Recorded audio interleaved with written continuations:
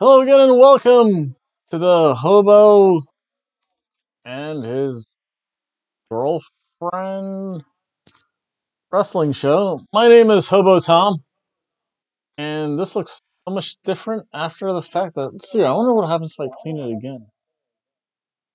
Gee, look at this. Like, doing maintenance on equipment. That looks so much different, with the exception of the light that's coming right down at me. That's okay. Um, I'm here to do a little wrestling review, and it is a special time of year, especially for the WWE, when they do their tribute to the troops. So, wait a second, why, why am I wearing my wrestling t shirt? Am my Johnny Gargano shirt? I should be wearing something patriotic. If the WWE can be patriotic for one day out of the year, so can Hobo Tom. In fact, I have a little tribute to the troops going out right now.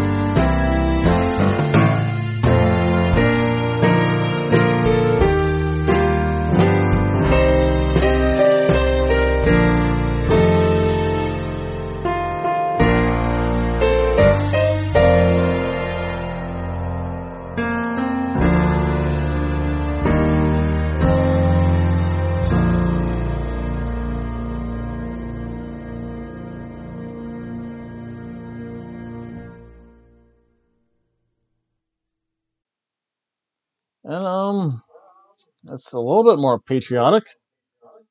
My Stars and Stripes cat shirt, which was given to me by some random woman once.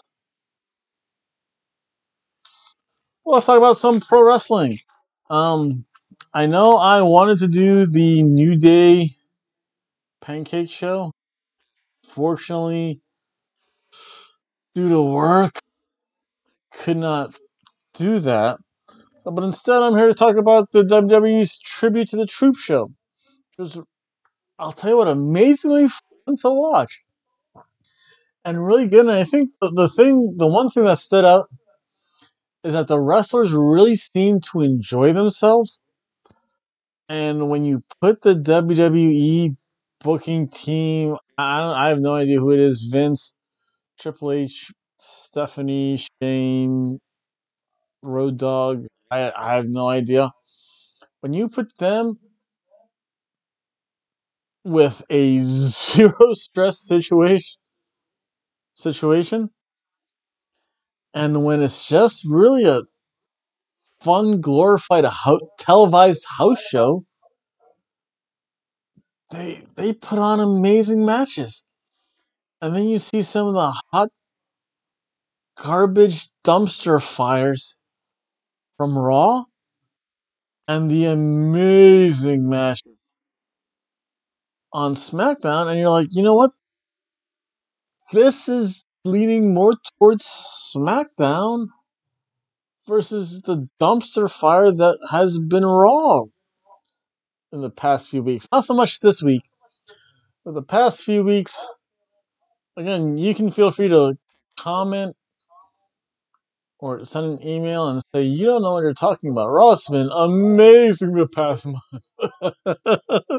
Try saying that with a straight face. Again, this was really fun. I don't know what it is. They just do amazing things when there's no stress. It's like no stress involved. Do whatever. Have fun. The only thing, because it is a tribute to the troops, you know the faces are always going to win. Um, I know there's Byron Saxton there, JBL, I think um, Atungo's there. So they're kind of switching up things a little bit on the announced team, and I'm fine with that. The New Day come out in all Christmas gear, and they're the hosts.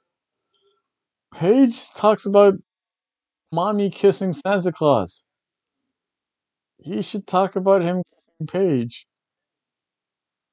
Oh, I just did not go there, but I did. And there was Santa Claus. It was good stuff. Um, again, they started singing USA, USA, USA, USA. Again, it was just a fun show. I mean, you have to give major props to the WWE. The fact that you do this. So the first match of the night was um, the Riot Squad featuring Liv Morgan and Sarah Logan versus uh, Tamina and Nia Jax versus Natalya Neidhart and Ronda Rousey. And it was okay. Liv seemed to have really pink hair. That just might be me. Tamina still looks like a Klingon. JBL. From, from what I've heard on, online, he can be a real interesting person. But now he's being really nice. He's, he's being really thankful for this opportunity. And he's being very gracious. He's being very humble, which is rare for JBL. And I like this camera angle. I think my cat's been around my computer. Try to adjust the computer and the camera angle. Well, this is pretty good. I don't have to sit far back. I, I don't have to sit down, which is a nice thing. But again, uh, Tamina and Nia Jax, they're learning really how to do tag team wrestling and how to do double team tag team wrestling, which is good. Um, again, you have the blind tag by Sarah Logan. So Tamina gets in their corner. Sarah Logan tags in. My my one big critique is probably because well I've had ooh, a good deal of red wine. It's always good, but again, do not go anywhere. Do not drive drunk. That's that's that's, that's very bad. And then you go to police station and feel shame. Never happened to me. I just stay at home. Below. But Sarah Logan's just confused. I think it's because she started off with a backwoods country gimmick. And now she's going to like Viking gimmick. Uh, it's just weird. I think when she was in NXT, she was like Louisiana Swamp Woman thing. So that's three versions of Sarah Logan. Ooh, wait a second. That could be something good for the Daytona Bum Fight League.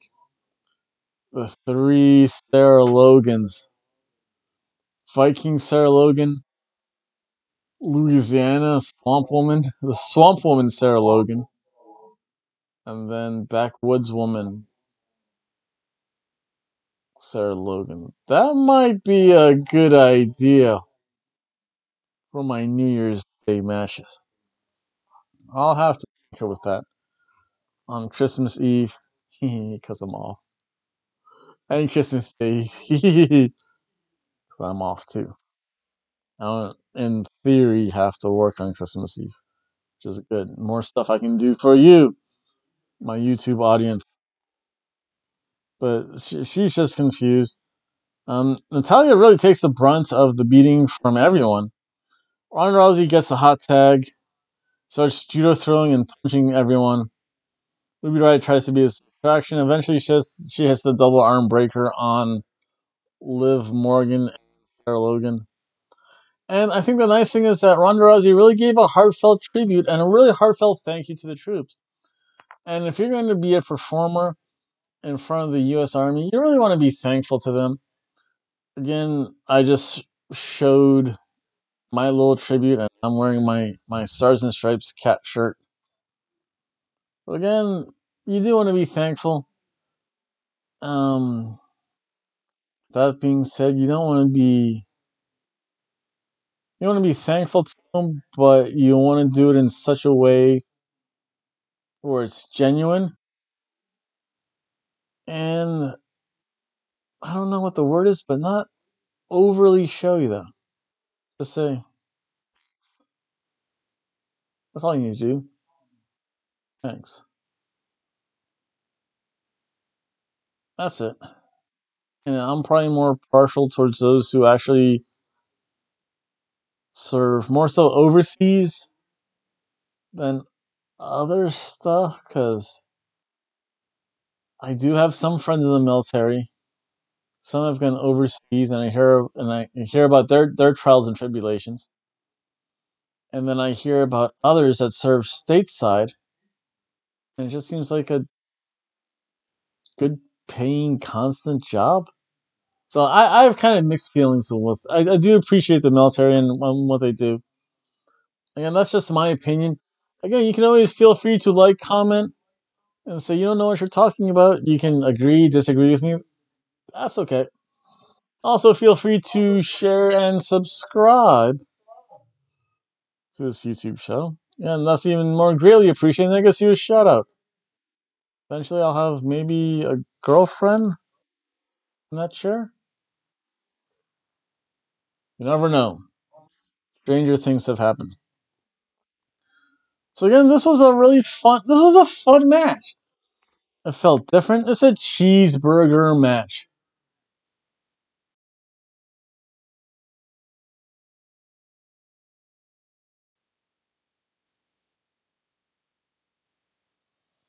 Then the next match, you have Bobby Lashley, who is actually an Army vet. I, I forget if it's Army or Marine. Marine veteran. He is an armed service veteran. I'll say that. And I always want to say, yeah, Drew McIntyre versus Finn Balor and Elias. Again, this is a really, this was a fun match when I saw it.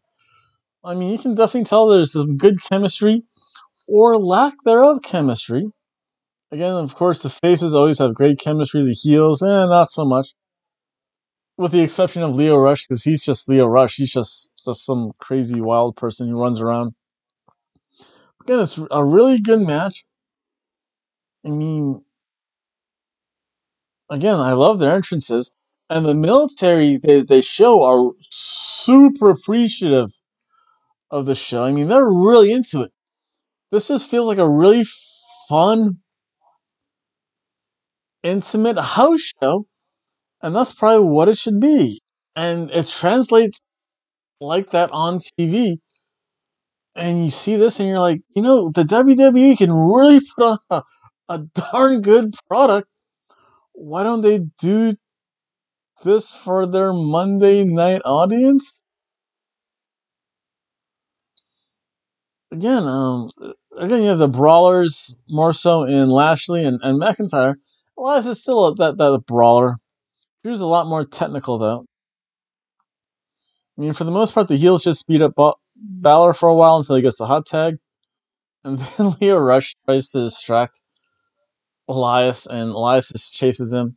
And eventually, Elias goes underneath the legs.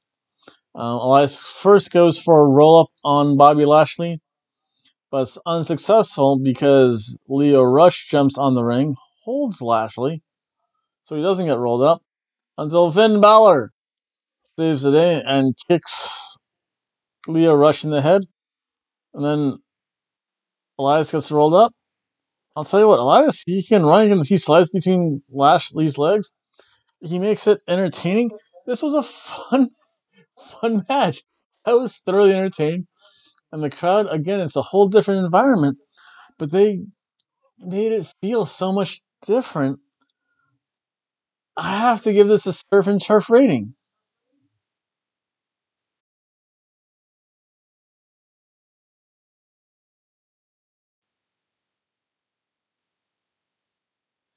I mean, it's really fun. Then you have Miz TV. Miz is amazing, by the way. I don't know what he's done, but he gets better all the time. Year after year, he's always improving himself. And he, again, he gives that really heartfelt thank you. And the military really appreciate the Miz. And they're cheering for Miz TV. He's the heel everyone cheers for. Because, again, he's a heel who makes sense. And he pulls on uh, Charlotte and, and Becky. And the Miz is still the Miz. He still goads them. And again, he tries to stir, stir the pot. And then Mandy Rose and, and Boo Charlotte Deville show up. This is a big step up for Charlotte Deville. I can still remember when she was wrestling here in Daytona Beach.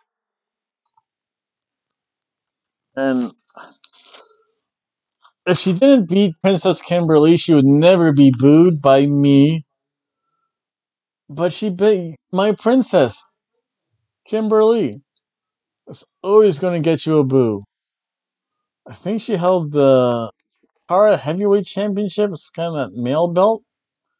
You're a woman, you hold that male belt. Whatever faction or industry or or territory it is, or promotion, the word I'm looking for, you're always going to get cheered by me. So let's set up a match. Um, it was Charlotte and Becky versus Sonya Deville and Boo Sonya Deville and Mandy Rose, and this was good. Um, this is showing off Deville's that she can wrestle though. She's learned a lot from her time, and this is the only I think the only again the only negative is of the show is that you know the faces are gonna win. You're not gonna have the heels win in front of the military. Uh-uh, not happening. But again, Sonya Deville can wrestle. Charlotte again is really good. The thing though is that the tag team between Sonya Deville and Mandy Rose is really growing. Because now they're learning how to do those tag team things like distractions, illegal double teams, blind tags. So teamwork is building. Um, Sonya did try to mock Becky Lynch. And I knew as soon as that happened, you know what? I was 80% sure that Sonya Deville and Mandy Rose were going to lose. Sonya starts mocking Becky Lynch. I'm 99% sure that Sonya Deville and Mandy Rose are going to lose. So again, again, you have the, the, the double team after the distraction. Uh, Becky eventually does get in with the hot tag, puts the puts the disarmer on Mandy Rose. Mandy Rose taps out. Charlotte and Becky Lynch win. And I think only because it was predictable and there wasn't much interaction with Becky and Charlotte. This was a don't get me wrong, this was a fun match, but this was a ham match.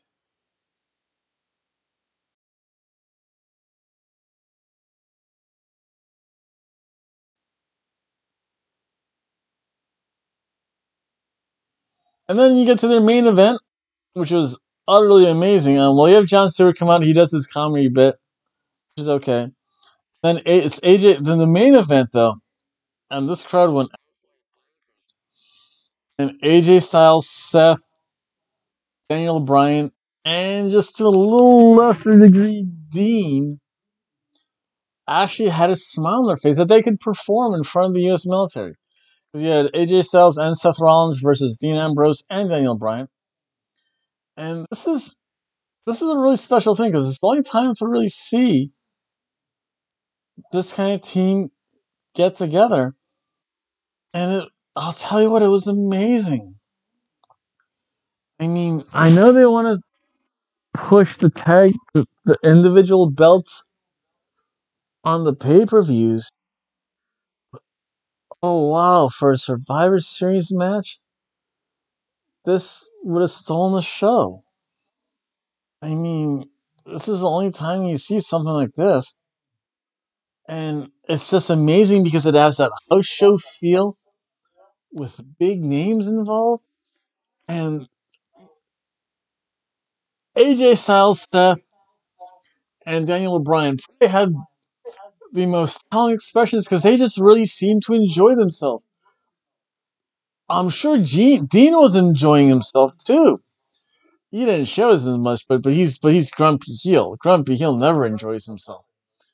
All all the all the three others, and again I'll I'll toss Dean in there. They were enjoying themselves. They were having fun at a wrestle at a pro wrestling match and the pro wrestlers were having fun and the crowd was having fun oh wow you never thought that wwe would ever think of this it seems like that novel thing but it's not if you put together quality wrestling and e- even just a toss together storyline Yes, AJ Styles, Daniel Bryan don't like each other. Seth Rollins and Dean don't like each other. Just have them in some big schmoz and make them just say, hey, you have some time. Do what you want to do. It was just so much fun. AJ Styles hit that running knee on the apron. I never saw that before. You have a new thing. Wrestlers having fun. The crowd loving it, eating it up. Good wrestling. I mean, actually, not even good wrestling. Nearly great wrestling. Look at this expression on my face. I was enjoying this. And it wasn't even the red wine that made me enjoy it. I mean, it was so much fun. And then again, you have uh, the stuff. Again, the jawing between Rollins and Dean was great. Never heard that during Raw. I mean, they just they seem to be enjoying themselves. They're making it fun for everyone. I mean, Dean eventually again. Well, he's back to the black tank top, which uh, if that's if that's my only critique that Dean's wearing a black tank top, it can't be bad, can it? Again, amazing. Again, there there was some. That's not a good looking headbutt too. I like that headbutt. Most underutilized move in all of wrestling. Hardest part of body on hard part of body, or hard part of body onto semi weak part of body. Always works. I mean, again, you had the heel, heel miscue, and eventually AJ Styles does hit the phenomenal forearm on Daniel Bryan. AJ Styles and Rollins wins. It was so much fun. This is a filet mignon match.